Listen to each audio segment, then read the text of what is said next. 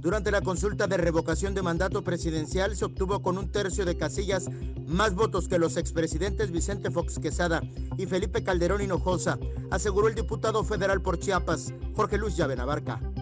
Entonces creo que este millón doscientos quince mil ciudadanos chiapanecas, chiapanecos que participaron nos dieron un mensaje de que sí les interesa, de que sí quieren saber cómo trabaja su gobernante y qué opina también, por supuesto, el pueblo de lo que están haciendo. Entonces yo creo que fue un trabajo, eh, este resultado más que de partidos políticos, fue un trabajo más de la percepción de la ciudadanía. Sobre la suspensión de las elecciones extraordinarias en al menos dos municipios del estado y de la jornada de revocación de mandato en tres, ante amenazas de acciones violentas, urgió a las autoridades garantizar la paz en Chiapas. El Estado de Derecho es la base para cualquier eh, desarrollo de cualquier pueblo, no solamente de Chiapas, a nivel México, a nivel mundial, ya lo han manifestado muchos lemas, que es orden y progreso. Tenemos que poner orden, tiene que haber gobernabilidad. Sin duda, el que no se haya podido instalar eh, eh, las casillas en algunos municipios, pues también nos llama la atención del trabajo de quienes deben estar encargados precisamente de poder hacer este ejercicio de gobernabilidad pues sabemos muy bien que hay un gabinete de seguridad.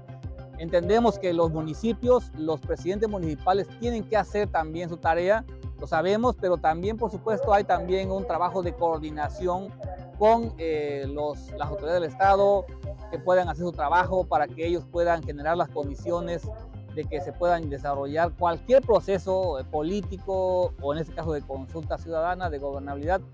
Sin duda eh, hay un trabajo eh, en la Secretaría de Gobierno, hay un trabajo en la Secretaría de Seguridad Pública, hay trabajo también, por supuesto, en los municipios que deben de coordinarse eh, para que logremos lo que todos deseamos, que es la gobernabilidad, para que después de esto haya gobernanza. Ante la falta de elecciones, Llave Navarca sentenció que el Congreso del Estado debe nombrar consejos municipales con calidad moral, liderazgo y legitimidad y no con enfoques partidistas. El llamado al Congreso del Estado es tomar una determinación responsable, el que se elija la mejor propuesta para los consejos municipales, que garantice la gobernabilidad, lo repito nuevamente, es fundamental quitar de este tipo de decisiones los colores, los sentimientos partidistas. Los consejos municipales nombrados por el Congreso del Estado deben ser sin duda gente, hombres, mujeres con autoridad moral, con eh, liderazgo, con legitimidad. Tenemos que nombrar consejos municipales con legitimidad y eso solamente lo va a dar el pueblo, no con legalidad y mucho menos con interés político. Eso sería un llamado muy respetuoso al Congreso del Estado, que sin duda lo van a hacer, el que puedan nombrar consejos municipales legítimos, que el pueblo los respete, que el pueblo los valide, para que así tengamos la gobernabilidad. Si no, estaríamos otra vez incurriendo en designaciones que no nos generan la gobernabilidad que todos queremos. Al respecto de la reforma eléctrica, que se realiza desde septiembre de 2021, acusó que la oposición no tiene argumentos para votar en contra. Incorporado porque las opiniones no solamente del partido eh, Morena, del Partido del Trabajo, del Partido Verde, que son los que integran la coalición de la Cuarta Transformación, sino que también la semana pasada, el día lunes o martes, no me recuerdo, la Alianza Va por México presentó una contrapropuesta de 12 puntos donde ellos estaban también presentando propuestas para que se incluyeran en, el dictamen de la reforma eléctrica.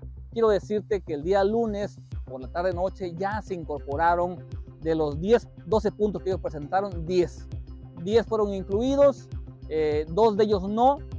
¿Cuáles no se incluyeron? Aquellos que, como bien sabemos, también se llevó a cabo una eh, sentencia de la Corte, resolvió la Corte los amparos en contra de la ley de la industria eléctrica, la LIE, y en donde de los 12 puntos que presentó la coalición Va por México, dos de ellos resolvieron ya la Corte, eh, y lo cual ya no puede ser incluido porque ya está, por supuesto, con el órgano máximo que determinó que son legales las reformas a la ley de la industria eléctrica. Será este domingo cuando se suba al Pleno de la Cámara de Diputados la votación de esta iniciativa que aseguró beneficiará a Chiapas. ¿Cuál va a beneficiar a Chiapas? Porque ahora, sin duda, la propuesta del presidente es que las primeras presas que se van a despachar van a ser las presas hidroeléctricas, las plantas generadoras con energía hidroeléctrica. Sin duda, las chapanecas estarán en ese primer eh, grupo de, que van a despachar, que van a comprar, que van a, ofertar su, energía y eso nos va a beneficiar mucho a los chapanecos y también a los mexicanos porque no vamos a contaminar mucho, ¿no? Con imágenes de Christopher Canter, Eric Ordóñez, Alerta Chiapas.